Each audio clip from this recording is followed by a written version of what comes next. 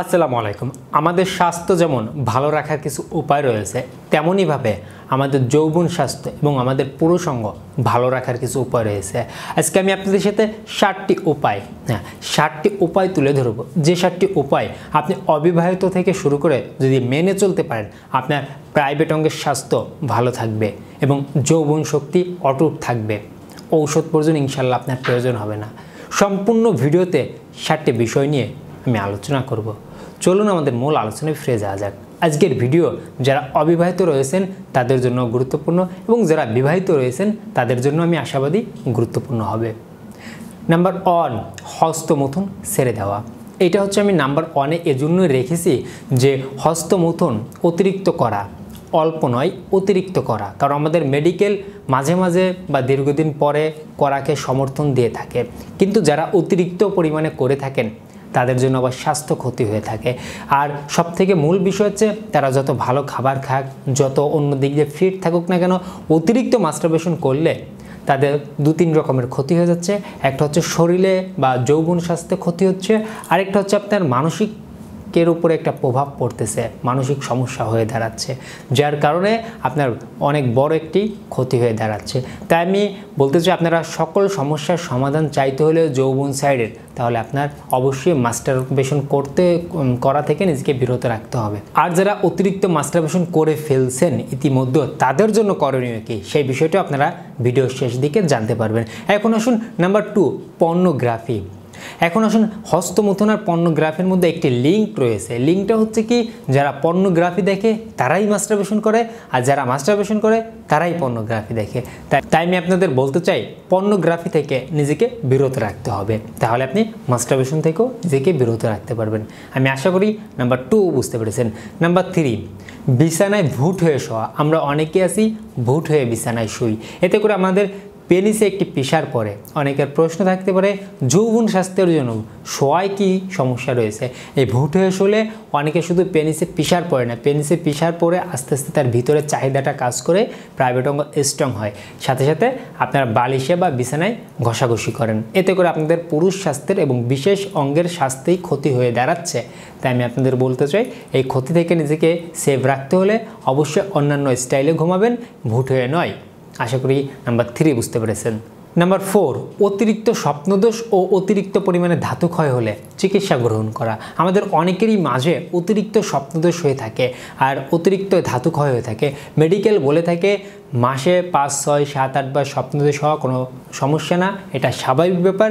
বসন্তীকালে পা দেওয়ার পরে যে কোনো সময় এটা হতে পারে।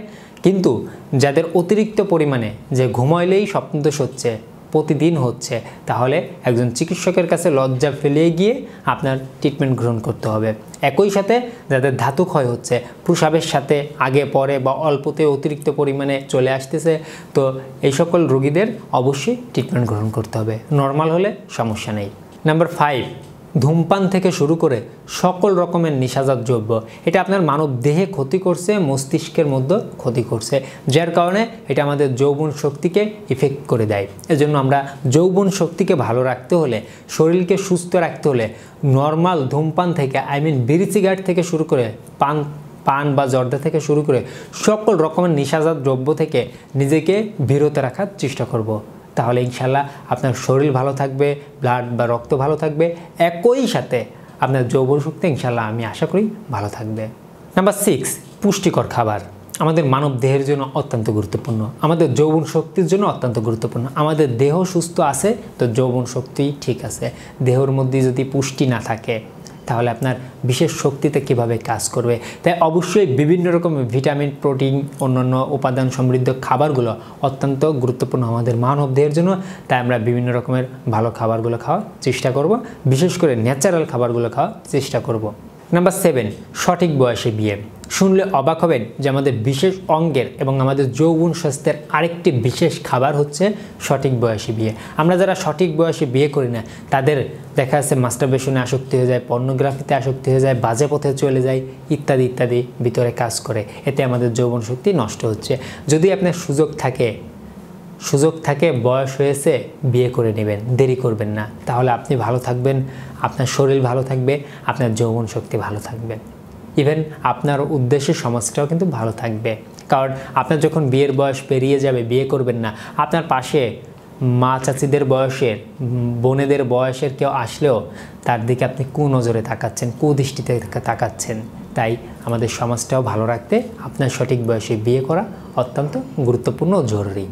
আশা করি এই সাতটি বিষয় যদি আপনি মেনে চলতে পারেন, তাহলে ইনশাল্লাহ আপনাদের যৌবন নিয়ে ঔষধের দিকে যেতে হবে না। হ্যাঁ ঔষধের দিকে তখন যেতে হতে পারে। আপনার ডায়াবেটিস হয়েছে, উচ্চ রক্তচাপ হয়েছে, রক্তে কোলেস্ট্রল বেড়ে গেছে বা অন্যান্য কোনো রোগ হয়েছে। তাহলে হয়তোবা তার প্রভাবে বা হাড়ের সমস্যা হয়েছে।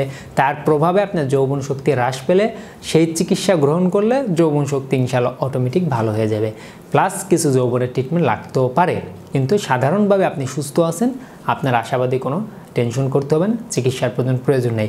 এছাড়া যদি আপনার নিজের কাছে মনে হয় যে না, আপনার ট্রিটমেন্টের প্রয়োজন হয়ে লাগ আছে বা যদি আপনি অতিরিক্ত মাস্টারবেশন করে থাকেন তাহলে অবশ্যই একজন ডাক্তারের পরামর্শ নিয়ে কিছু ট্রিটমেন্ট গ্রহণ করতে চাইলে করতে পারেন, তাও নির্দিষ্টভাবে, অনির্দিষ্টভাবে না। এই ছিল আজকের ভিডিও আপনাদের কোনো প্রশ্ন থাকলে আমাদের কমেন্ট বক্সে কমেন্ট করতে ভুলবেন না। আমাদের ভিডিওটি ভালো হলে লাইক করতে ভুলবেন না, বন্ধুদের সাথে শেয়ার করতে পারেন। সবাই ভালো থাকবেন, সুস্থ থাকবেন। দেখা হচ্ছে পরবর্তী কোনো নতুন একটা আপডেট ভিডিওতে আল্লাহ হাফেজ।